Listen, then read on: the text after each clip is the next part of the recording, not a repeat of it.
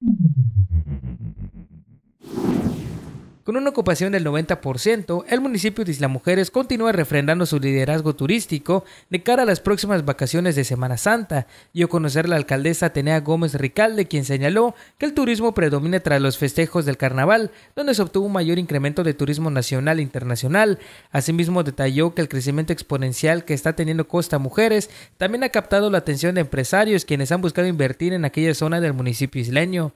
Asimismo, la alcaldesa detalló que los visitantes puedan disfrutar de la limpieza, orden y seguridad del destino, así como de las bellezas de Playa Norte y Centro, que cuenta con el distintivo Blue Flag, el cual la certifica como playas de excelencia turística a nivel nacional e internacional.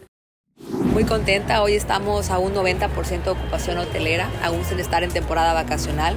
La isla ha reportado buenos índices de ocupación, las ha mantenido y claro, pues ha llegado a los topes máximos en temporadas vacacionales. Ello habla de un trabajo en conjunto, sociedad, gobierno, empresarios, buenos servicios públicos, seguridad, playas limpias, por supuesto una oferta de pueblo mágico en la que hemos invertido mucho tiempo, esfuerzo, recursos para que siempre haya algún evento cultural que puedan llevarse nuestras y nuestros turistas. Y bueno, por su parte también Costa Mujeres, que es un producto aparte que ha repuntado increíblemente, que hoy está en los ojos del mundo y que sin duda, yo siempre lo digo, es el, el gran futuro cercano de Quintana Roo.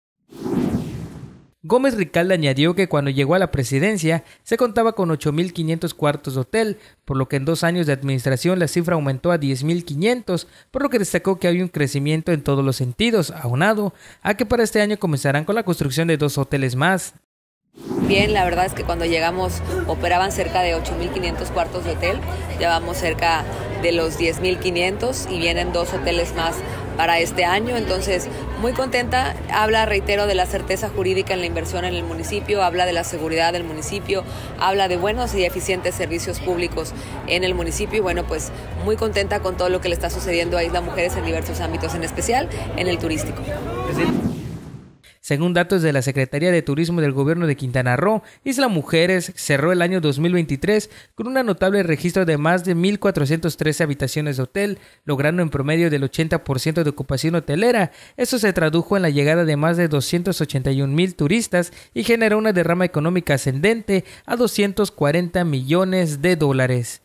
Con imágenes de Diego Pech informó para Notivisión, Joel Paul.